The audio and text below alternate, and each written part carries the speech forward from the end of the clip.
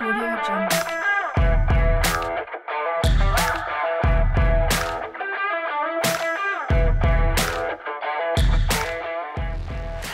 years ago, we had the zchut of starting this kollel.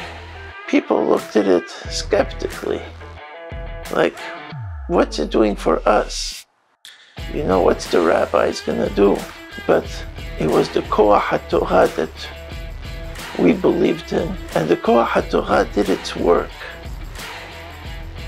There's much more than just a dozen Avrechim learning. It became a source of Torah and Yirat Shamayim that would emanate to so much around the city. We want to see it grow.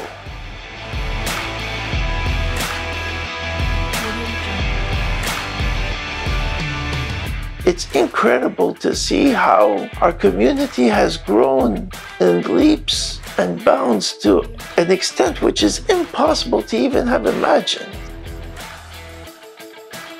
Baruch Hashem, today we have schools for our Abrichim. We have different kollelim all around town, different Bate Midrashot, different Bate Knesiot with shiurim.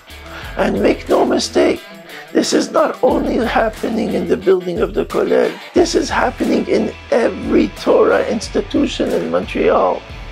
Every single Torah school has grown because of the Koach HaTorah that has been amplified over here.